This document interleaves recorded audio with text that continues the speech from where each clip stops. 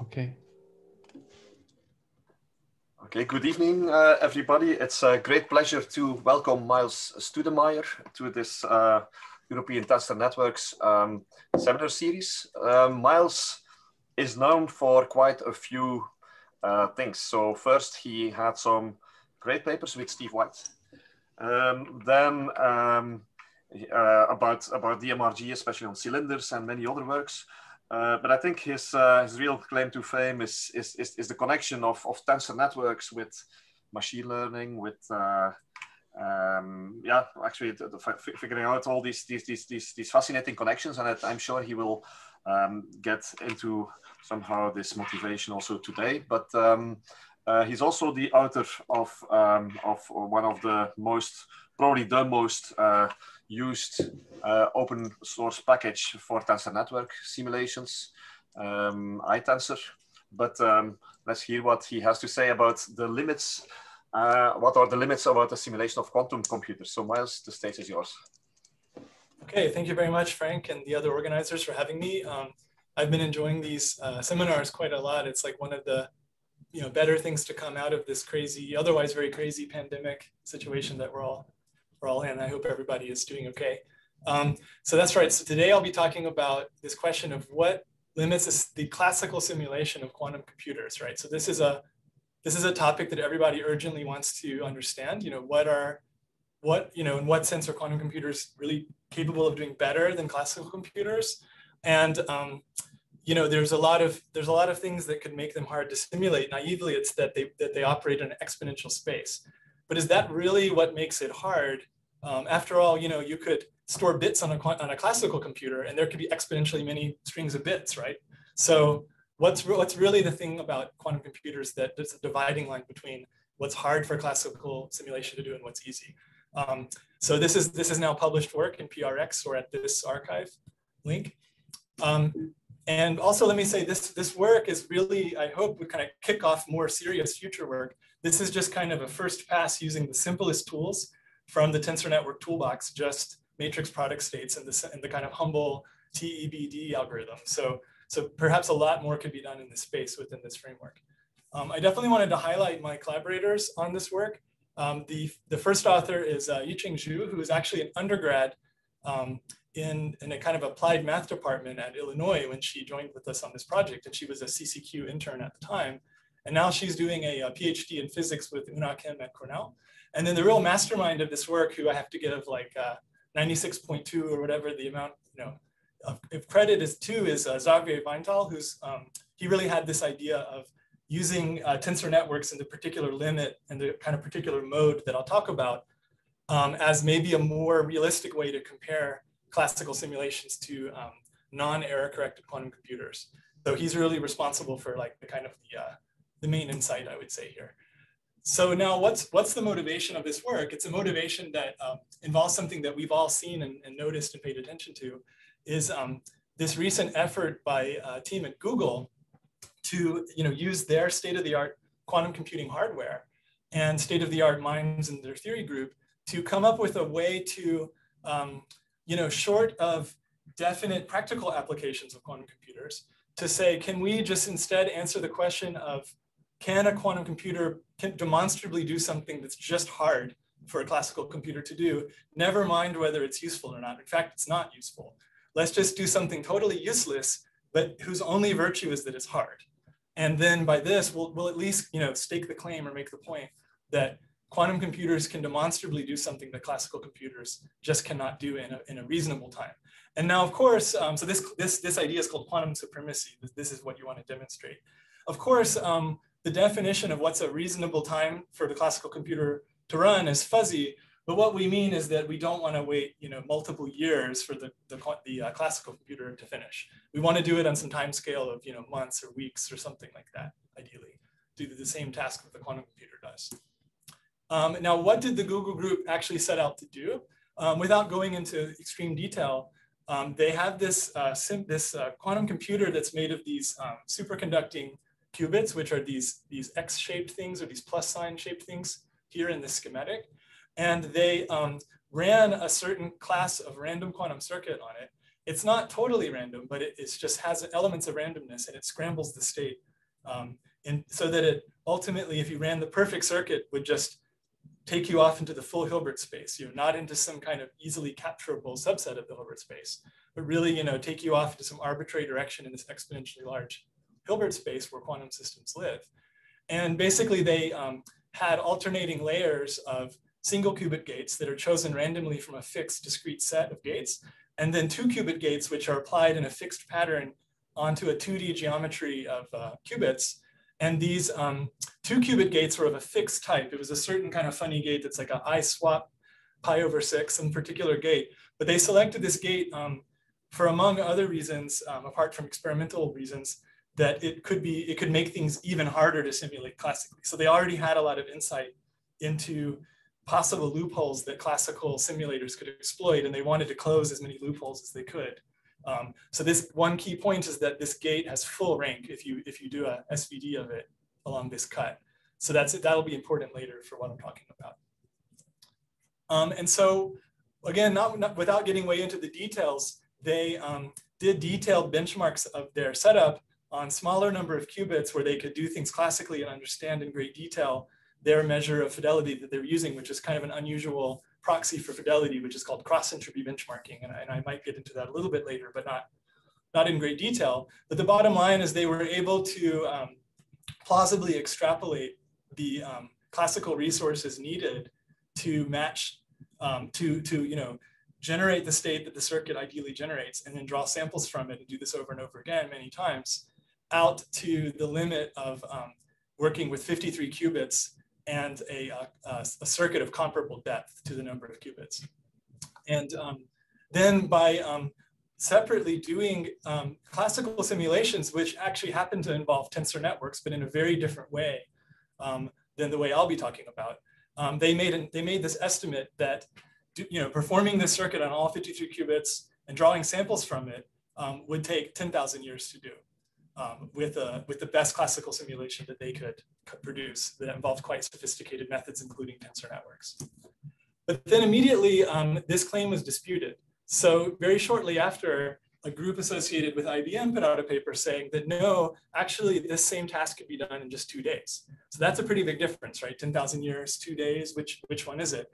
And their um, proposal involved using very large classical memory. So they're, they're calling secondary storage here. Um, and they didn't actually do it, but they just were, they laid out a scheme that, that, that showed that, you know, it should be possible to do this in two days.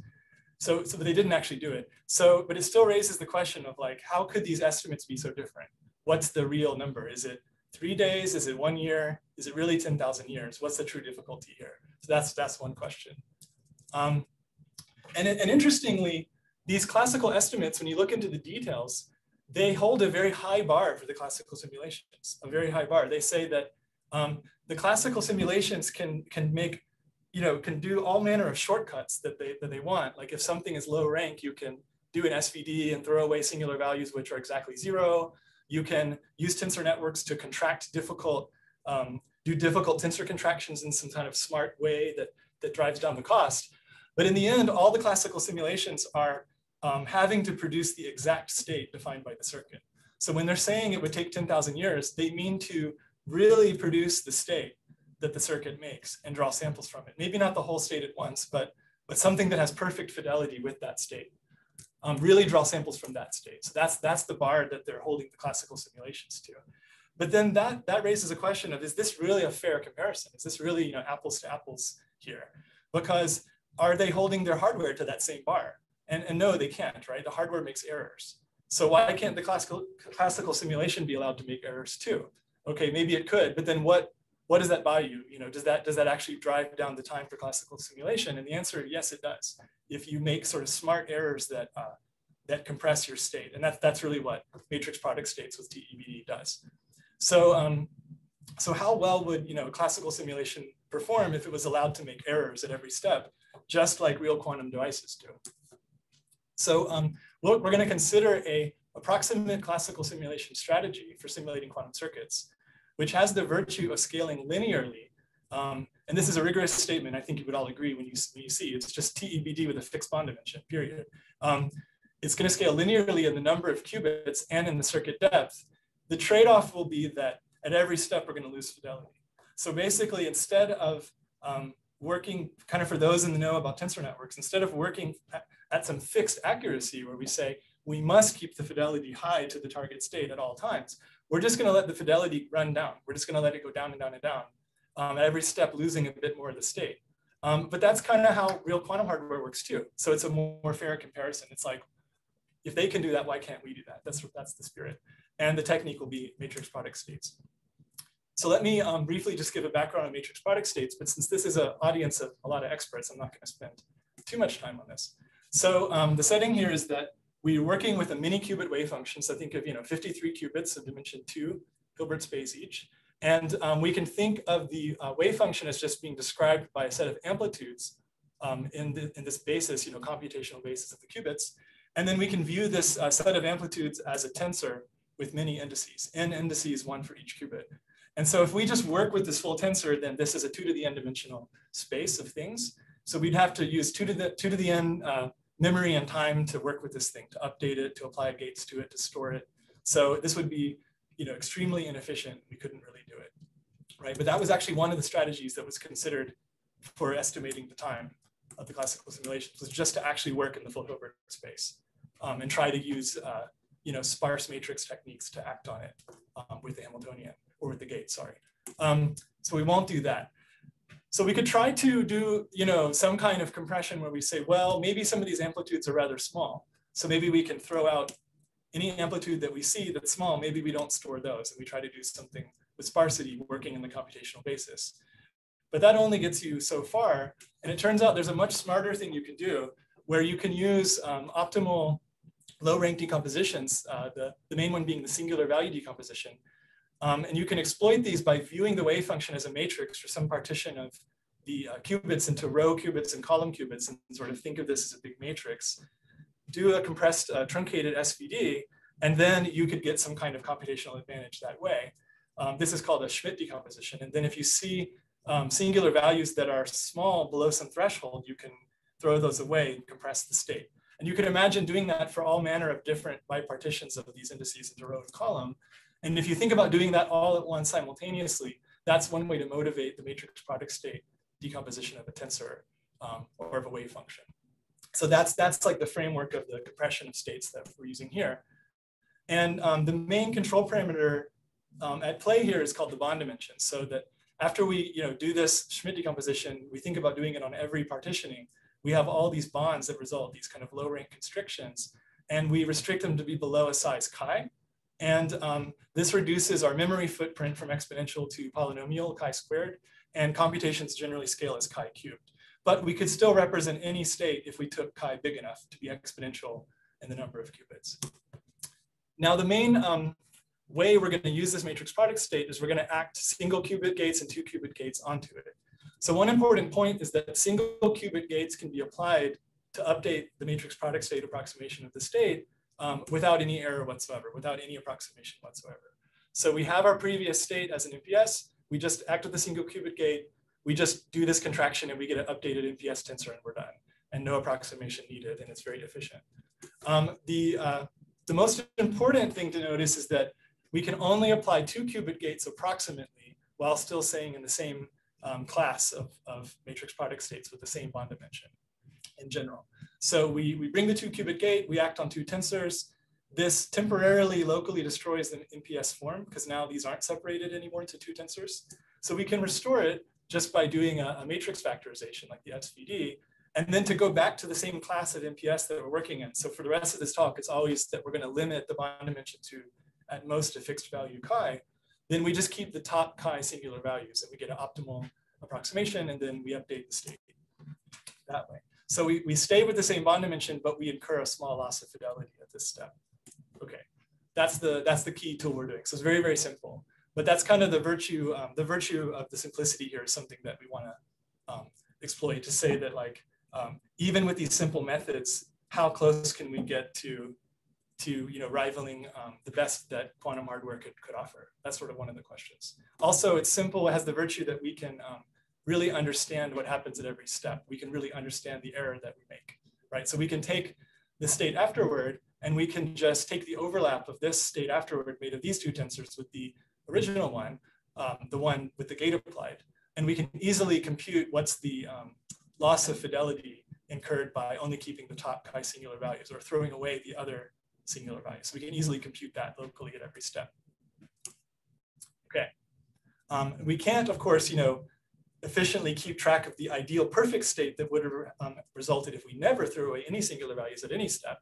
Although we can do that a little bit on small systems, but then we'll come up with a way to estimate that property later that's very reliable in this setting of uh, random quantum circuits.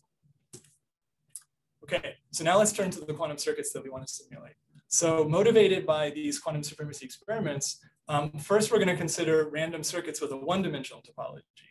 So this is you know, different from what Google did, but it's more of a warm-up to try to understand things in a setting that's like native for MPS or where they should work really well.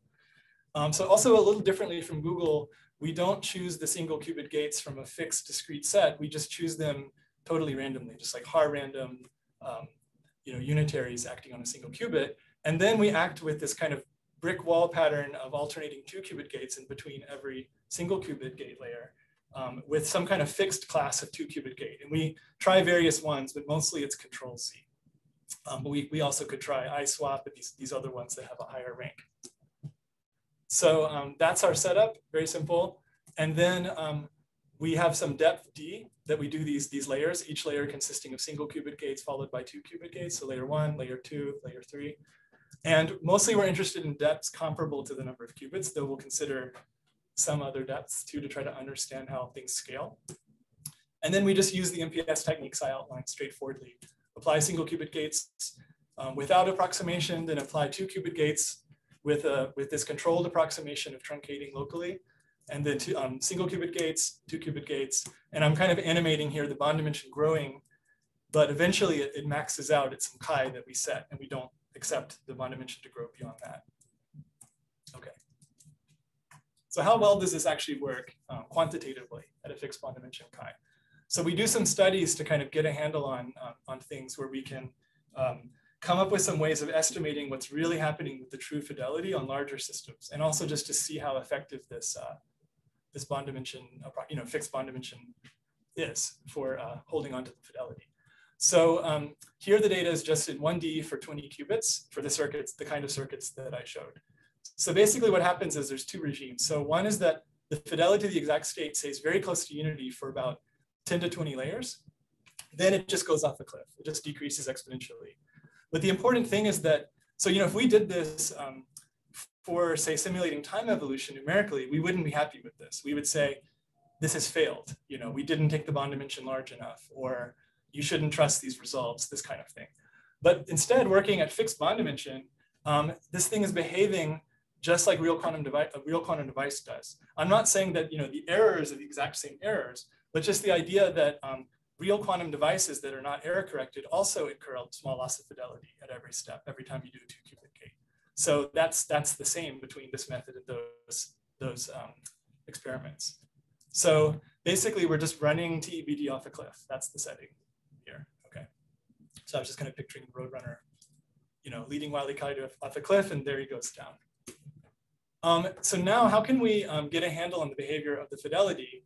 Because we're going to be able, we're going to need to know what the fidelity is doing beyond 20 qubits, like to much larger qubits. Um, so how can we get an estimate of what it is without also having the exact state to compare to? So it turns out because of this setting that we're dealing with random quantum circuits, um, what we can do is we can get the fidelity to a very good, the true fidelity, right, to the exact state, to a very good approximation by just taking these fidelities that happen every time we apply a two qubit gate and get the fidelity between the last approximate state and the next approximate state and just multiplying them together, right? We can just do that. So we can think like, well, maybe these errors are totally uncorrelated with each other so that the error goes down as just the product of all the errors that we incur, you know, whatever percent of the state we keep, we just multiply over and over again. And that tells us the overall percent of the state that we've kept.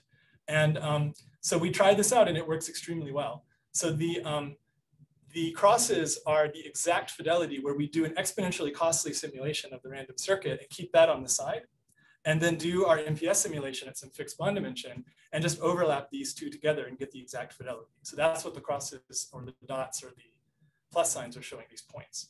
And then the solid lines are showing this formula, where we just take every two qubit gate fidelity and just keep multiplying them together and plot the result. And it's basically perfect agreement. Um, and we can see um, so that it works. And we can also see that um, things fall into a straight line eventually, which means that um, this two qubit um, gate fidelity is saturating to some fixed value, some kind of characteristic long time value. So that's what we can see from these plots. And this is great because now we have a tool where we can go to more qubits where we cannot anymore afford to do an exponential side calculation. But we can just always multiply these numbers together because we get these numbers for free with the MPS methods and have a good handle on what's the true fidelity. So this is a really good tool to have. So at a polynomial cost, right, we can, we can know what the true fidelity is, even though we don't have the exact state around. Um, so we find this, you know, for all depths, um, not just asymptotically. We can really just do this straight from the beginning, um, from the first step to the last step and get a good match. Okay, I already said this basically. So we can do, you know, only work polynomially hard to estimate something that in principle is exponentially hard to get. And, you know, why does this work? Um, you know, basically it has to do with the, um, the fact that we're comparing the, the, the true state we're comparing to is random. So it's always sort of has the signs of its amplitudes are always flipping around, things are getting scrambled. So the um, there's sort of no memory in a sense that that random state has um, of the other states that we threw away when we did the truncation of the MPS. It's a little bit hard to put into words, but there's a more of like a, a rig, slightly rigorous argument in the paper, or more of like a quasi-rigorous kind of physicist argument in the paper about why this is a good approximation. Okay, so then the next question becomes, how far can we push things, right? So we can see that we get better and better um, two, gate, two qubit gate fidelities with increasing chi. I think I'm missing a chi here. Um, so as we pump chi up from 10 to 20 to 50, which is still very easy classical simulations, we can see that this straight line behavior gets flatter and flatter and flatter. So we lose less of the state or we make less error to the true state at every step. So things are getting better. So how flat can we get it? You know, how well can we do? does increasing chi improve the situation arbitrarily, right? Do we keep you know, paying only a uh, polynomial cost to just do better and better and better and better? And we know that for, um, for exponentially large chi, the gate fidelities, the two qubit fidelities have to go to one. So we know that it, in some sense, it's always going to improve as we um, increase chi, but what's the, what's the behavior, right? Is it always worth doing? Or is it kind of diminishing returns? What, what really happens, right? Um, so the answer basically is that ultimately we'll see is diminishing returns. Um, but let's kind of step, it, step through it a bit. So now let's go to the case of 60 qubits. And then we'll consider some circuits where the depth is less than the number of qubits and some where it's, it's greater than the number of qubits or comparable to the number of qubits. Okay. So first of all, for the case where the depth is less than the number of qubits, we really can just keep getting better and better and better um, gate fidelities, two qubit fidelities by increasing chi. So here's chi increasing um, very, you know, and then we see that um, we're getting very, you know, rapid decrease of the error made at every step. But then as the depth goes larger than the number of qubits, we see a different behavior. We see that the average gate fidelity really seems to saturate, almost saturate. Basically, the, we get diminishing returns. We keep making chi bigger. You know, here we're like doubling chi, doubling chi, doubling. And it seems that things are almost plateauing that we're not really getting much better error at every, this is just the error at every step of our simulation, which we can always get by just overlapping the um, next MPS with the previous MPS. We're not getting much of a gain, right? So diminishing returns. So to really kind of um, understand this, we did a calculation where we said, you know, we thought about it and actually the edges are always um, exact for those of you who know MPS methods in detail. So we should exclude those. Also, the, the MPS methods work better at earlier steps, at earlier layers. So we should exclude those. So when you really only look in the bulk, away from the edges, and only at later layers, the D infinity just means once this behavior is settled down, like once you're in this regime, that's what D infinity refers to, just this regime where you've really started going off a cliff. Um, things do become very flat. So you find that there really seems to be some kind of um, asymptotic best uh, fidelity that you can reach, no matter how big you pump chi. Although at exponentially big chi, we know this eventually has to go to zero, but it seems that um, it's, it becomes, you know, painfully slow to get there, basically. Okay, so summary, you know, summarizing this part, increasing chi rapidly increases the two um, qubit gate fidelity up to actually about 99%, which um, already is very interesting. So this is equivalent to very high quality qubits, right? So already, if you're comparing this to um, someone working with real quantum hardware, simulating one-dimensional random quantum circuits, this is already setting a pretty high bar. It's saying we can, on the classical computer, make qubits that have like a 99% two, um, two-gate fidelity, just with these very simple classical tools. Um, but you know, you think, well, let's let's try to beat these experiments. Let's let's do better. You find out that you really can't. That increasing chi much more than this just doesn't buy you anything. But of course, for exponentially big chi, you have to, you know, finally get the fidelity to one. Okay. So, um, so one technical point is that how can we resolve these last two points, right? I already alluded to this, that how can it be that it plateaus, but then somehow still the error goes to zero, the fidelity goes to one? Basically, our picture of what's happening is that in the bulk, you really are saturating, but then as you keep um, doubling chi and doubling and chi and doubling chi, you're doing things more and more exactly at the edges. So you, you first you get, you know, the first three bonds at the edge, right? Then you double chi, and now you get the first four, right? And then you get the next one, the next one, the next one. But it, you have to keep doubling chi, making these exponentially big increases in chi, and you only get one more bond of the MPS to be exact. So, um, so effectively, you really do have a plateau until you really push things exponentially. Okay, so then the big picture here in 1D, you know, summarizing all this is that we have an algorithm that always um, incurs only a linear cost in the number of qubits and in the circuit depth that has a two qubit gate fidelity um, that's around 99%.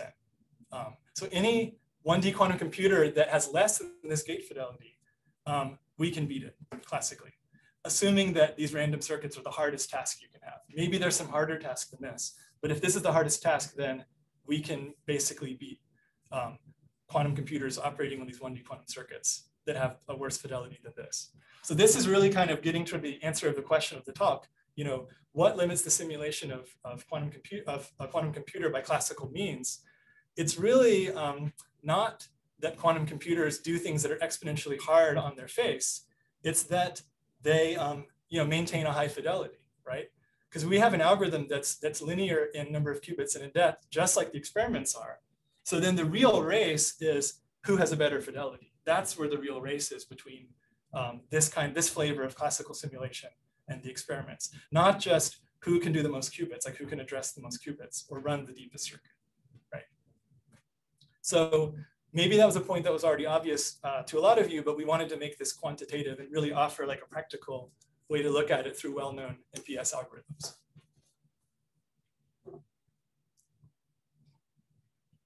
Okay, so now let's um, just kind of for two slides or three slides, get into a technical matter, which is how can there be this plateau in fidelity, right? So why is it that increasing the bond dimension helps you a lot at first, but then after a while you get diminishing returns? What could be responsible for this? And it basically has to do with the setting that these are um, layers of, of, of quantum circuit that randomize the state. So the brief explanation of the arguments, this was Xavier's argument in the paper that I thought was really interesting, is let's assume that what the circuit does, and this is you know not really what it does, but let's let's let's make the leap that you know even one layer of the circuit just maximally randomizes the entries of all the MPS tensors um, before the two qubit gate acts. So we have the layer of one qubit gates. And let's just say they each act on their MPS tensor and just totally scramble it, which isn't true, but let's just say that it's true. Um, then the idea is that the singular values after we act with the two qubit gate and then split back into two MPS tensors will have some kind of universal scaling form so that the fidelity after the truncation will become independent of chi. So it'll sort of saturate to some form where the shape of it is going to like lose its dependence on chi. Um, so what that means is that keeping a larger chi um, isn't really keeping more of this um, distribution of singular values. It's just taking the continuum limit, and you're always just keeping half of this continuum thing. You're keeping the first um, chi values out of the two chi. But increasing chi is just, just taking the continuum limit. Um, so um, basically, this, this is some kind of fundamental limit of this TEBD approach to simulating these uh, random quantum circuits. But in practice, we always do a little better than this because um, the one, the single qubit layer can't really fully randomize the state. So this is just some kind of picture of what's going on. Okay, so let me let me unpack that a little bit more in some details. So the um, the sketch of the argument here is that let's just make the assumption that when we take the previous state, we act with the single qubit um, gates, then it's the same as if we had put MPS tensors that were just drawn randomly. And here we we make a distribution that's kind of motivated by random matrix theory, um, but it's not maybe so terribly important. And so we draw these MPS tensors randomly. Then we act with our fixed class of two qubit gate, get the merge tensor, do the SVD, where we're always, um, here in this case, I'm considering a, uh, well, no, that's right. We always go to two chi singular values in the untruncated form. And then we want to truncate back to chi singular values afterward. So that's, that's the setting, right? So we always double the number of singular values and then keep the first half of them. And um, when you do this for larger and larger chi, for some you know, fixed class of two qubit gate, you observe you, you can observe a collapse actually of the curve of these eigenvalues, um, the squares of the singular values.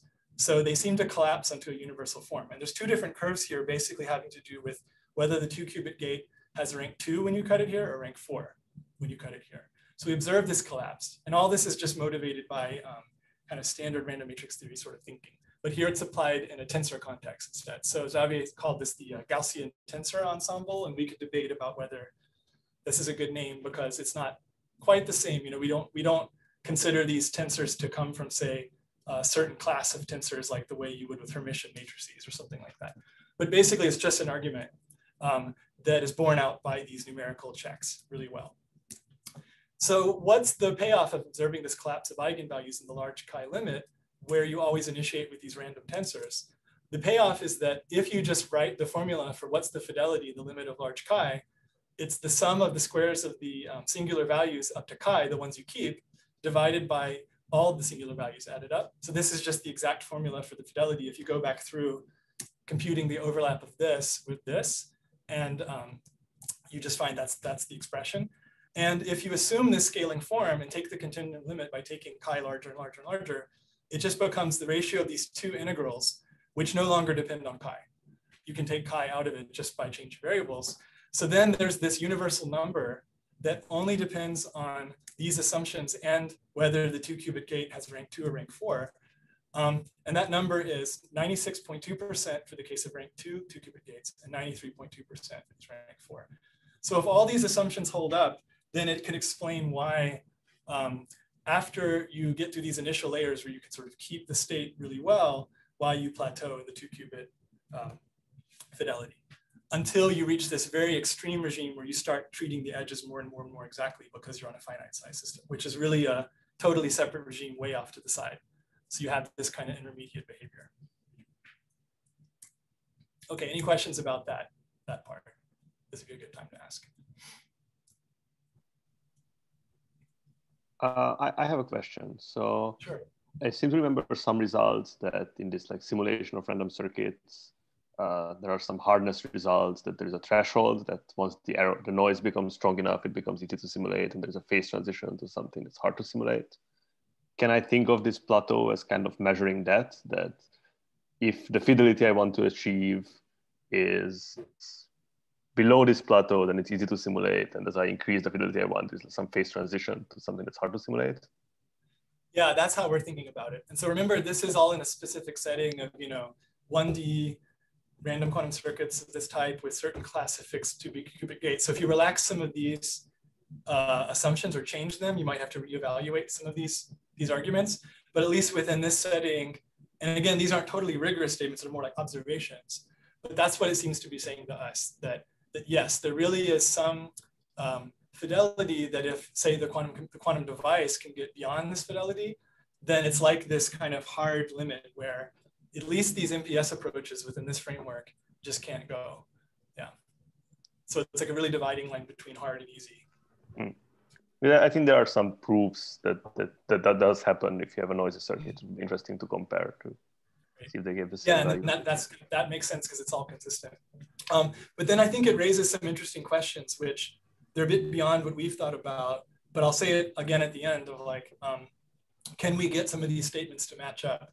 Like, can we view these these classical schemes as kind of coming from below and maybe like lower bounding um, some of this, some of these numbers? So you know, maybe we could push this up by um, by delaying how much we truncate. You know, act um, just keep this tensor exact and maybe add another you know another qubit afterward, and then come back and then truncate it. You know, after we've applied a whole bunch of gates or something, and get a different class of classical simulation that maybe pushes these um, fidelities even higher. And and is there some limit to that game fundamentally that we can that we you know that we can play? These kind of questions. And, and how does that interplay with the idea of thresholds and error correcting schemes for quantum computers? That's like a big question, which I don't feel totally qualified to answer, but I, I just wanted to put it out there for those of you who are very well versed in those, those topics to think about if there's a connection to these concrete classes of classical simulation. Um, can I ask a short another question? Mm -hmm. Just to understand things, so the G function here is kind of empirical, right? G function. Yes, it's just the, all, all the argument relies on is that um, all the argument for the existence of this f infinity is just that, that some G function exists that this collapses to. Yeah. Okay. And then but you can just kind of estimate it numerically and do like a numerical integral to get these values. Okay. Okay. Yeah. But I mean, in principle, maybe there's actually some like closed form expression for this G function, but okay. I mean, yeah, I, I, don't know. That that gets into um, random matrix theory sort of topics that I'm just not an expert on. But I, am sure there's people here who who know a lot about those things. So maybe one of them could comment. But um, but I'm not sure if there's a closed form. Okay. Yeah. Thanks. Mm. Sure. Uh, one more question. Sure.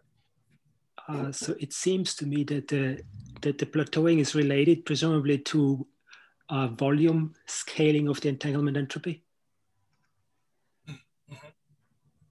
Um, let's see. Uh, quite possibly so. Um, yeah, I mean, I, I don't. I guess I don't have a major comment to make to that that statement, but definitely there's a regime where early on we can just keep um, all the state and not go over our chi budget. So the earlier states simply fit into the class of MPS of bond dimension chi or less. So there things are perfect. Then they sort of smoothly cross over to less perfect into this regime of we don't gain anything by by taking chi bigger. So so probably that's really what's happening is we're sort of making our way through states that have area law and wading out deeper and deeper into the you know Hilbert space C and getting out into the volume law states. That's probably right. sounds right to me. Okay, so now lastly, um, I'll just talk about early efforts that were in this paper, which some of which are continuing to say, okay, um, so much for 1D. This sets a very high bar for experiments of, on 1D circuits.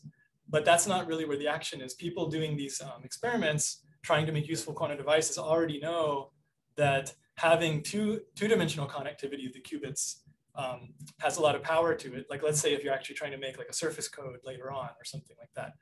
That's, that's really where people are working is with these 2D connected quantum circuits. So what can we do there? And these are just kind of early attempts, but it may be uh, points the way a little bit to, as a community, can we, you know, bring all our heads together and keep pushing these, you know, kind of keep pushing on this with better and better and better techniques from the tensor network community.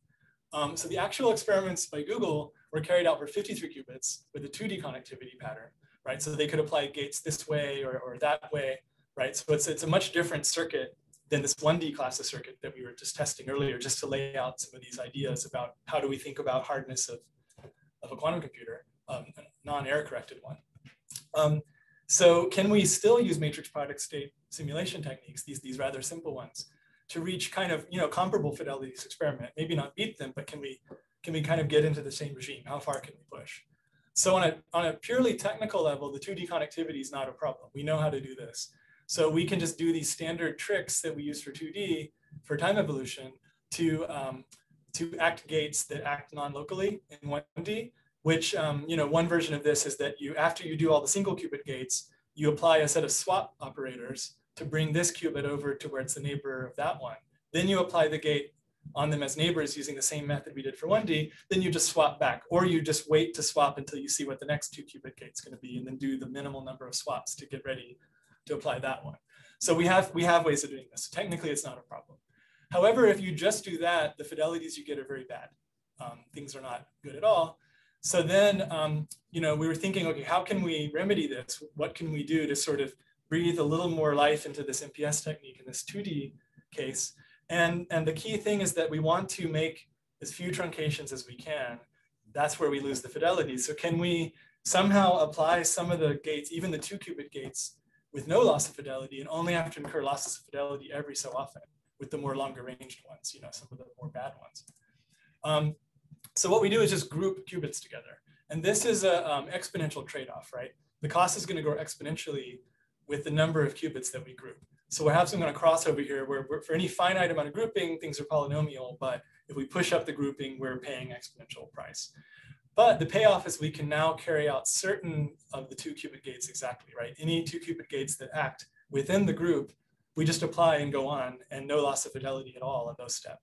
So maybe we kind of delay the losses of fidelity or kind of sparsify them out through the circuit. And we only say lose fidelity on this one and that one and not at all on this one and this one, something like that. So that's how we can kind of extend the life a little bit of these um, simple MPS techniques, right? So these ones that act within the grouping, no loss of fidelity. But then at some point, we're going to have to change the grouping um, in order to act across these cuts, across these um, MPS kind of bonds, if you want to call them that. And so at these steps, we're going to do a split in SVD with some truncation to control the size of these bonds and then merge back to change the grouping. So we're going to be, be shifting basically from kind of grouping A to grouping B back and forth, back and forth. Um, and then every time we're in a certain grouping, um, apply all the gates that are exact within that grouping. That's how it's going to work. And again, there could be better schemes, but this is just one that, that pushes you a little further 2D. But otherwise, you know, carrying out the same techniques as for 1D, when you're working within the grouping, um, you get some interesting results. So these different colors and symbols are um, showing different grouping strategies.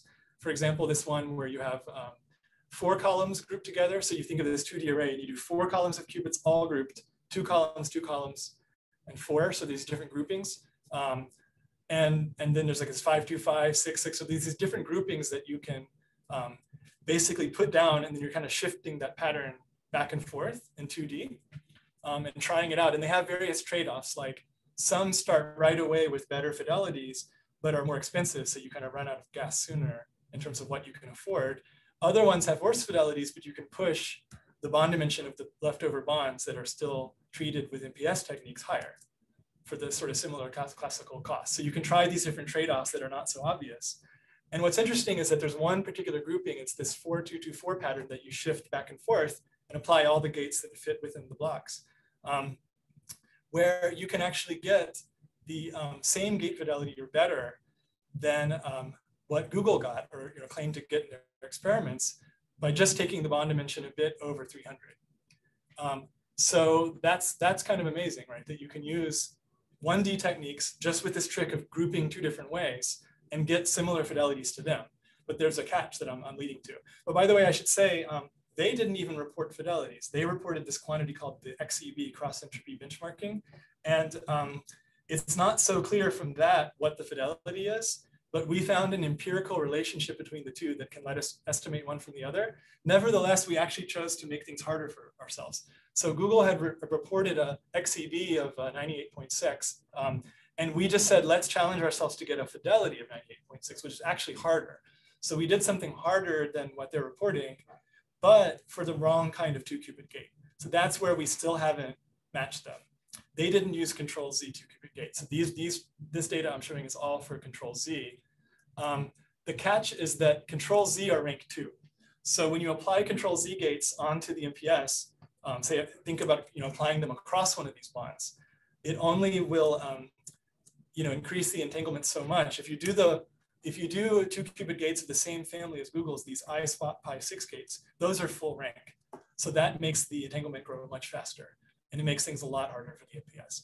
So then we could push again with these kind of grouping strategies, the different ones, and see that things are still trending toward, you know, we're on our way um, toward finally maybe getting to um, beat their value for now the same class of circuit, but we ran out of gas for the um, level of you know performance of the codes that we were doing. We weren't we weren't doing parallelism. We weren't using other computational tricks. No GPUs. So without all those tools at our disposal, we can only push it this far and and come up short of what Google did. And that's fine because actually I kind of wanted that to happen because I think it's really amazing what Google did, and I'm kind of cheering for them too. But so to me, the payoff of all this is just understanding what's really hard, what's really easy, how impressive is it that what they did. Okay, so that's the summary of the effort so far in 2D. Um, so let me just summarize the talk first. So basically matrix product state compression enables approximate classical simulations, not these ones that are tasked with keeping the whole state, but just approximate simulations, but which in every other way mimic real quantum devices. They lose fidelity at every step. They have a scaling that's linear in n and d if you work at a, a fixed chi, um, n, n being the number of qubits, d being the depth. And then we find for 1D random circuits, we can simulate classically um, up to 99% two-gate fidelity with a polynomial cost for basically any depth or qubit number. So basically these, these classical simulations act like really good quantum computers. Um, like if you put them in a black box and didn't tell me, is there actual hardware in there or an MPS? You know, it'd be hard to tell until the, the experimentalists can get their fidelity above 99%. Um, but for 2D, of course, things are much harder for these 1D methods. We can get surprisingly good fidelities, especially for certain classes of two qubit gates, but it's still lagging well behind the best hardware at the moment with these strategies. So, you know, what limits the classical simulation of quantum computers? I said it earlier, but basically it's not the, the number of qubits per se or the depth per se, but it's really the two qubit gate fidelity of the devices and it's the dimensionality or connectivity of the circuit that they're running. It's the interplay of those two things from the point of view of these MPS simulations kind of as an adversary. Um, but you know, that's, that's kind of good news for the experimentalists and in some way. It says, focus your efforts on getting the fidelity higher and focus on being able to address qubits in a more you know, complicated connectivity. And that's something people are definitely working on. Um, so now in terms of just quickly putting out some future directions, here we address random quantum circuits. How well can we do with kind of similar strategies for structured quantum circuits that actually perform a task? Like you know the circuit that does Shor's algorithm or Grover's algorithm. And there's been some past work in this direction, but I don't know if it's fully considered the setting of just allowing the um, fidelity to kind of go down as you run, but kind of hoping that you can still win the race so that you don't lose too much fidelity for the result to still be useful. So I don't know if there's been work published so far that's, that's made that kind of trade-off or played that exact game. And there's other structured circuits now people are studying. It'd be interesting to run those through this perspective. Um, and of course, one question would be, um, could we take methods like, um, like say Frank Pollmann and Mike Zaletel's Moses move and isometric 2D tensor networks and use that to do TEBD and try these random quantum circuits and with PEPs, 2D tensor networks, and how well could one do? That would be very interesting. Um, and then as I mentioned earlier too, what's the interplay between things like thresholds of um, error correcting schemes for quantum computing and um, is there an interesting interplay between these lossy or approximate classical simulations and this error correction? You know, what, what do these thresholds for these different um, codes and error correction schemes say about what we can expect classical simulations to be able to do as we say push with better methods than just this humble TEBD MPS setup. Um, you know, it sort of has to be that these um, meet each other. Otherwise, we could just use tensor networks to solve exponentially hard problems. So something has to give. What is it? Is it tied to that um, limiting fidelity that we saw earlier? Um, and that's, that's all I have to say. So thanks, and I'll take your questions.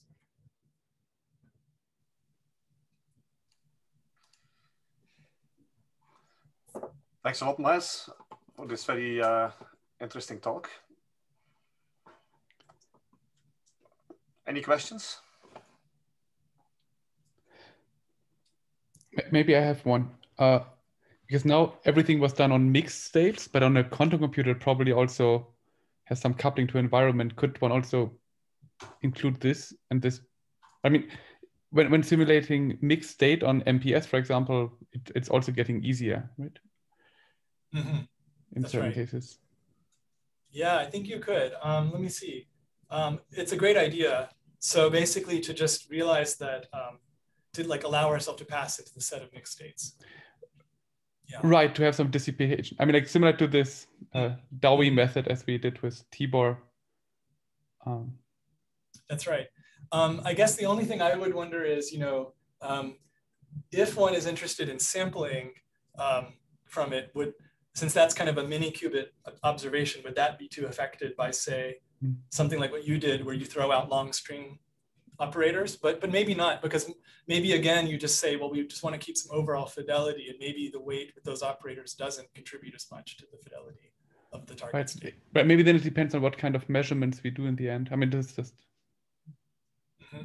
but it's interesting because I mean, one could wonder if, if yeah, that that class of, of the operators that you suppress contributes less to the fidelity. So maybe there is some payoff like that for working with mixed states. So I had a, a few comments. So one, like you, you were making the connection with the fault tolerance and yeah. So it, if you have two plus one dimensions, then you do have a, a threshold and it's roughly around 1% for like, two, two gate fidelity. So you're, you're, you're getting there. Um, the other thing is, so what you're doing is you're essentially simulating the actual quantum state to within a certain fidelity, and then you can sample for, from that as many times as you want, right? You can yes. sample from each level, which is in fact something with, uh, even harder than what the quantum computer is doing, mm-hmm. which is like every time you want to sample, you have to rerun the experiment in the quantum computer. Mm-hmm. Um, yeah, there's a, there's a paper by Maarten Van den Nest which like makes this comparison of strong simulation and weak simulation, and you know, make, makes this point. And um, maybe, maybe you can sort of combine what you're doing with um, you know, the, these kind of ideas of, of, sampling, and it's, it's actually a, a, somewhat easier problem. And the third is like a, another approach that is some people in Alibaba, I think they were trying to do this like high-end quantum simulations. And one thing they consider is like a noise model where they just depolarize with some probability certain certain bonds, and then or, or, certain certain qubits, and that's sort of like cutting a bond in, in your tensor network contraction. Um, Those are great comments. I, should point out that um, that there's this paper that I'm really fascinated with. Um, the, the person leading that was, was Pan Zhang, I think, um, who has this general contraction scheme for, um, there's a sort of parallel paper too by Adam Jermyn proposing like an earlier version, but it's like a general contraction scheme for arbitrary tensor networks. So just imagine like a arbitrary graph with tensors on it. You just want to contract it like a graphical model in machine learning or something. Um, so they use this um, and, the, and, it's basically built on matrix product states. You just turn pieces of the network into an MPS locally and use MPS moves to decimate the, the whole network. Um, they use that to do a similar kind of thing as to what you said, Fernando, where they, they said, let's not go for the whole state, but let's just go for one sample at a time and kind of repeatedly contract the circuit in some optimal way using little pieces of MPS kind of decimating the circuit in whatever pattern. Um, and each time we get one sample. So I think they found that they could uh, um, I don't remember quite the quality that they got, but it was pretty impressive too.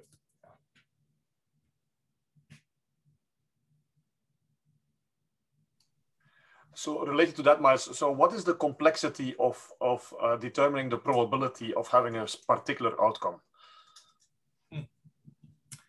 Oh yeah, so that's not um, hard. So I mean, if we, it's a good question, but if I understand it correctly, um, if you're asking, you know, at the end, we have the state that we have, which is some distance away from the target state, but is still keeping, you know, a lot of it.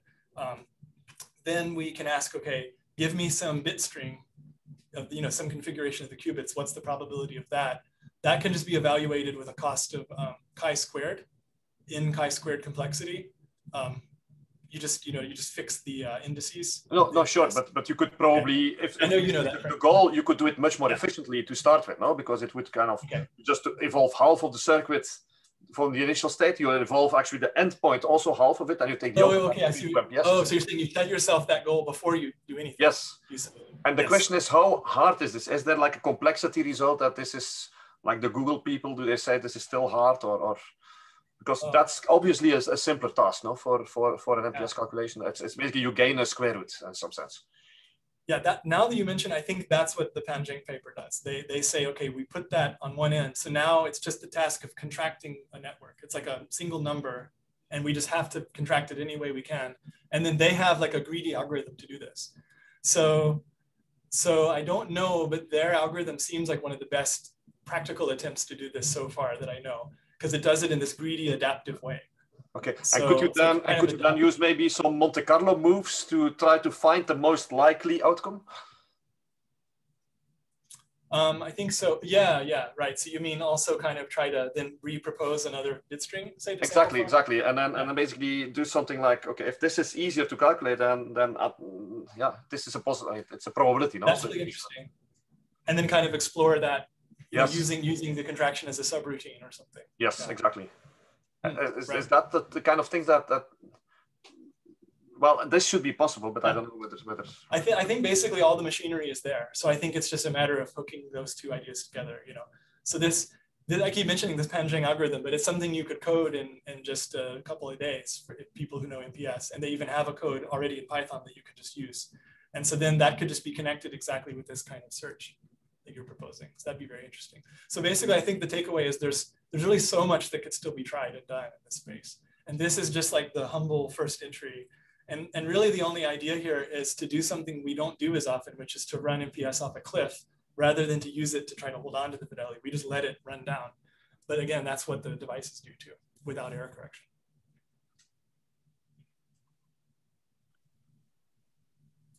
Um, may I ask a question?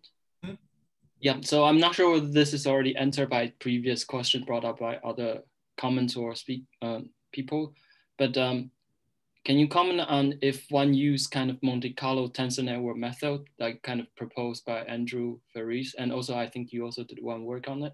Like if you do a truncation using kind of Monte Carlo sampling to get to a lower bond dimension, then somehow you can still reach a certain time point and you can sample, um, you can sample the bit string in the end. And can you kind of probably push it to a further time by doing that? I think so. Let me let me see if it would be if it would really be appropriate for that. I guess the question is, in my mind, the question of whether that would work right is um, is let's say the goal is to get a number out where you say, I set myself the task of here's a completely closed tensor network with no open indices, and I just want to estimate this number. Then you know Andy Ferris's scheme can give you that. Um, so if you want to say, ask what's the probability of getting a certain bit string to draw it at the end, you, I think you could definitely use his approach to get, get that. I don't know as much of whether you could then turn that around to then do the sampling of the bit string. I mean, you might have, you might have to yourself propose it. Um, but then if you kind of combine that with some idea like what uh, Frank said a minute ago, you could probably still use this information to kind of walk the space of bit strings. Um, you know, propose a new one, see if it actually has higher probability, reject or accept, and that kind of thing. So I think you could hook this all together. That's a very interesting idea. Unless I'm missing something where it wouldn't work. Yeah. Oh, but you know, I should I should say though that oh, here's the kicker though, right? So Andy's method is not uh, is not free from the sign problem, though. So you have to consider that. It's been a while since I've thought about it in detail, so I'll have to go look. But, but we should go look. So maybe I have another question. So since you posted that paper, people got very excited and they were thinking, okay, by next year, Miles will have simulated the Google quantum computer. Why have you not done that? Yeah, so um, so I can't report. You know, some of this is work in progress. I can't tell everything, but basically, one thing that we can tell right away, we just share, is that you know, you would think that this curve is just, these lines, these look like straight lines. So like, this is just gonna go down. So all we have to do is keep pushing. So it's merely a question of just getting the code to perform better, meaning like, you know, put it on GPU, you know, parallelize, like that's all you have to do, you might think. Um, but unfortunately it does start to curve. So it doesn't, it doesn't just shoot down. Um, so you find that it's not as not just a matter of we have to get to this bond dimension. It's more of a matter of we actually need a different scheme that really holds on to more of the state that doesn't start making truncations as early or or you know we, we group more or, or we or we do things like what you're alluding to where we maybe try to come from two different sides at once and so on. So we have to really come up with better algorithms too.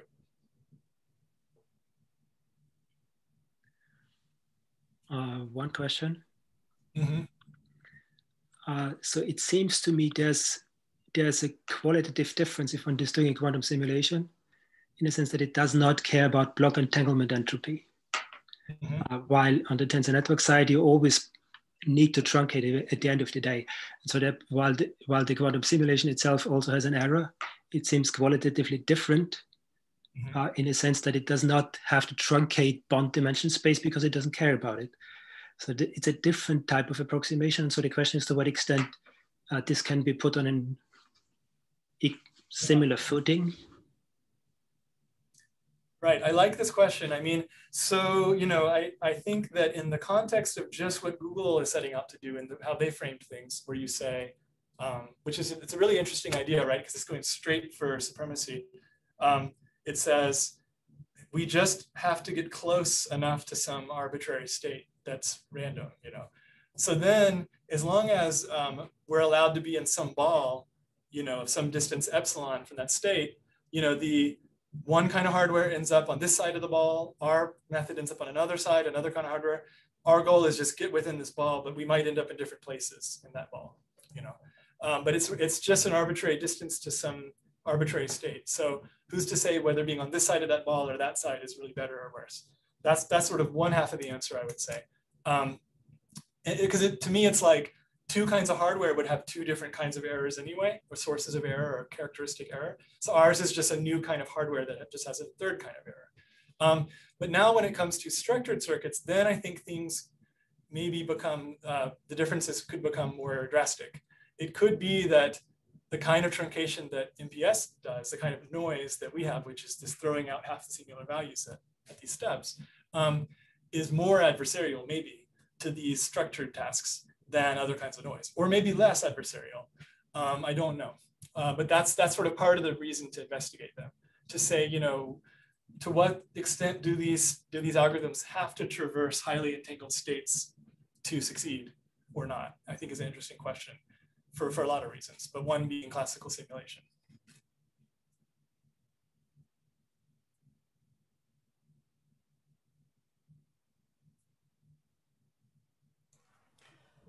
Hi.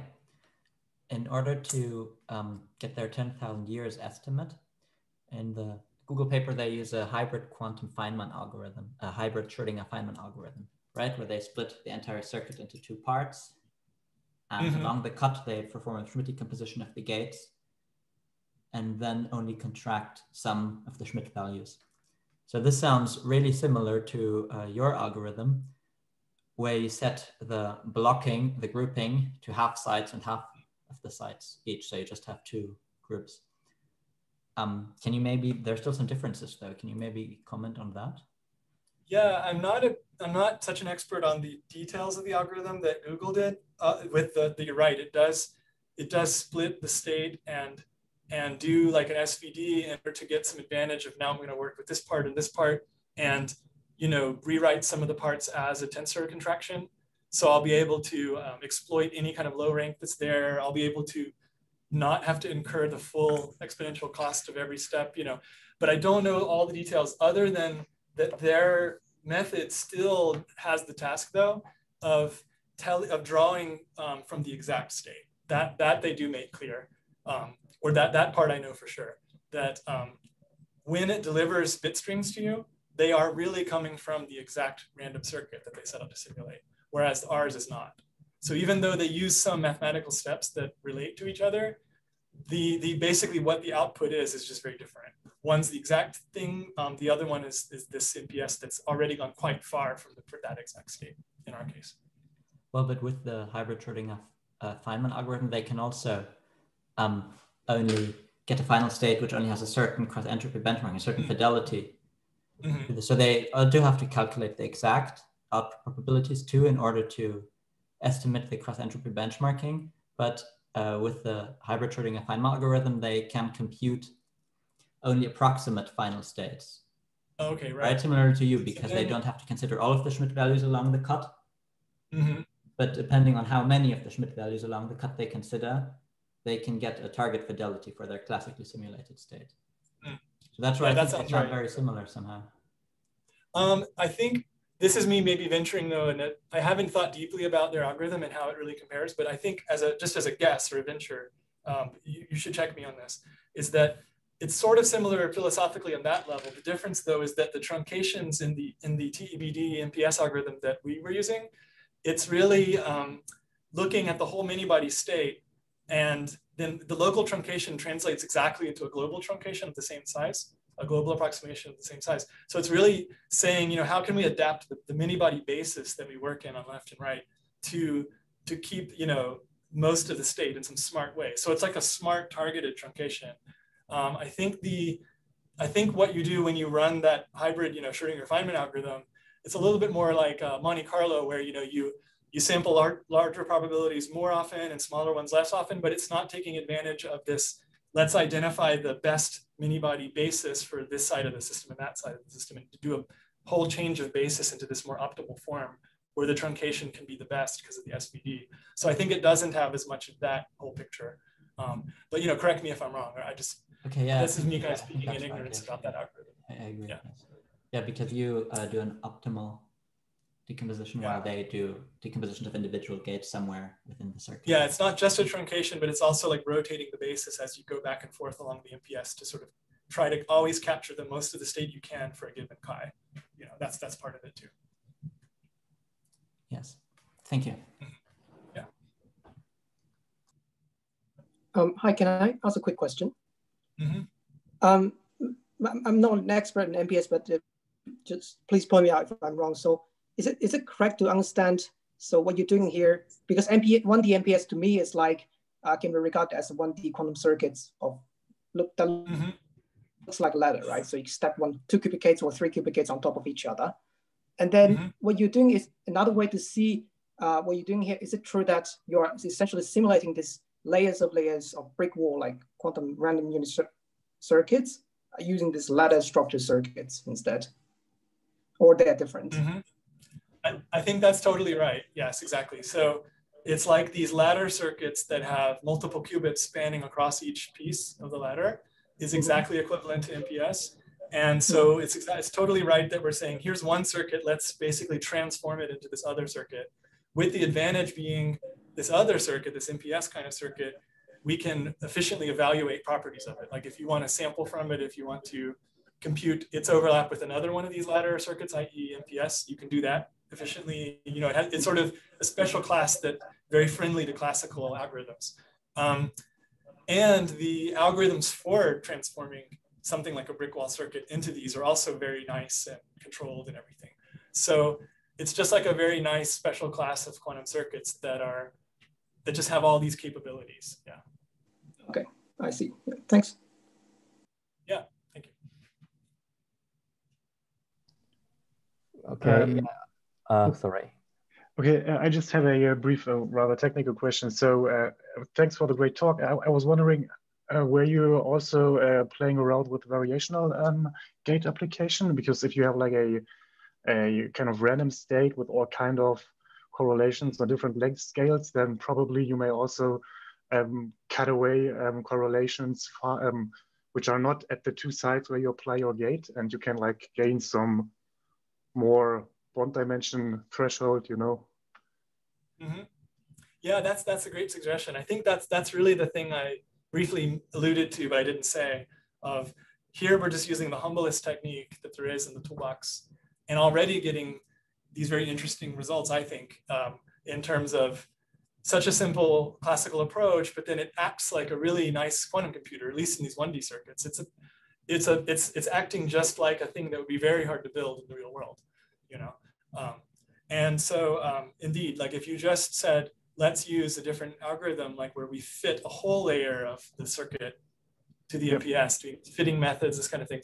Uh, I'd have to think about it, but my gut tells me, or I think it's right, that that could uh, that should um, reduce the amount of truncation because you're taking into account the whole state after the layer holistically rather than just locally.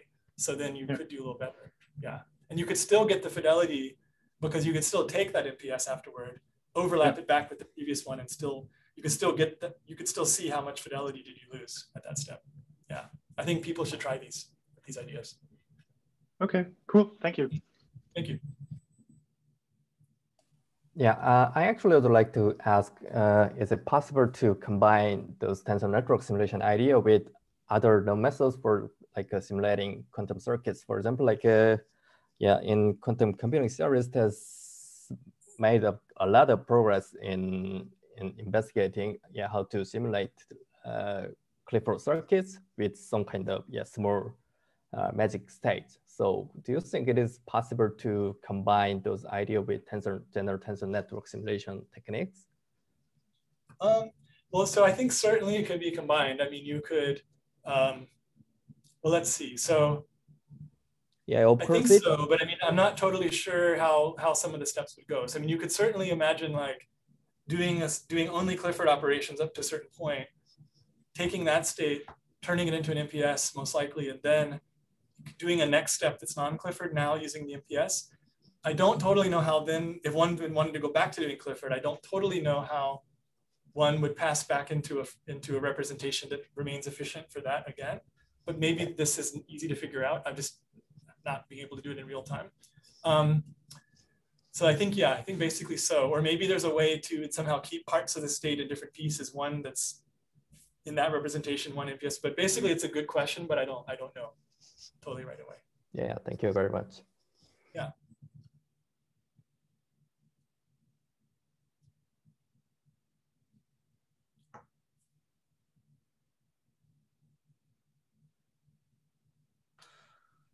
So I think this is um, a good time to uh, thank Miles again for this uh, this very inspiring talk, and um, thank you all of you for being here uh, tonight. And uh, let's see each other in two weeks. So uh, Miles, thanks a lot again, and uh, see you soon.